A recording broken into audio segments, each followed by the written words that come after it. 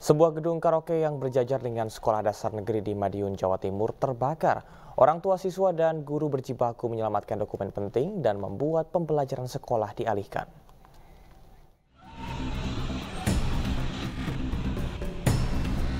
Sebuah gedung karaoke yang berjajar dengan sekolah dasar negeri di Madiun, Jawa Timur terbakar pada Rabu pagi. Api diduga berasal dari hubungan arus pendek listrik. Lokasi karaoke yang berjajar dengan sekolah dasar negeri 02 Pangongangan membuat pihak sekolah dan wali murid mengevakuasi dokumen penting dan peralatan sekolah. karena lokasinya sangat mepet, gandeng dengan temboknya sekolah.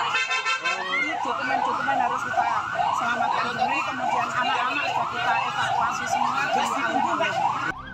Api baru bisa dipadamkan satu setengah jam setelah enam unit mobil pemadam kebakaran dikerahkan ke lokasi. Tidak ada korban jiwa dalam kebakaran gedung karaoke ini karena saat kejadian kondisi gedung sedang kosong. Sedangkan penyebab kebakaran ini diselidiki polisi. Dari Madiun, Jawa Timur, Arif Wahyu Effendi, iNews melaporkan.